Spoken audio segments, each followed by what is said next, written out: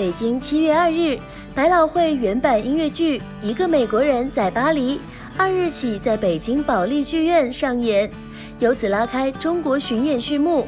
该剧通过男女主人公的爱情故事，传达了对战争的反思，曾获托尼奖四项大奖。